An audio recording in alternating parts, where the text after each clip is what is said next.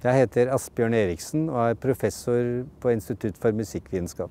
Jeg forsker og underviser i såkalt klassisk musikkhistorie, 1800-tallet særlig, og tidlig 1900-tall.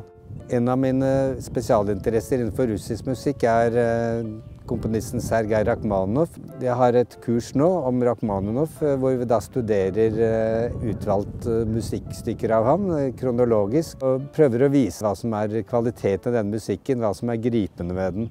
Personlig syns jeg nettopp denne kombinasjonen av intensiteten og framdriften, de vakre detaljene, er fascinerende. Selve lydbildet er veldig rikt. Du kan høre på det om igjen og om igjen uten å bli lei av det. Målet med å undervise i all denne musikkhistorien, teorier om musikalsk narrativitet og musikalsk humor osv. må jo være å forstå mer i hvilken sammenheng musikk oppstår i. Den, den konteksten dette har blitt brukt, og hva det betydde for menneskene i den tiden det ble lagd. Det kan godt bli grepet av musikken uten å kunne noe om dette. Likevel så, Jo mer du vet om musikken, desto mer beriker det opplevelsen, tror jeg nok likevel. Totalt sett så gjør det det.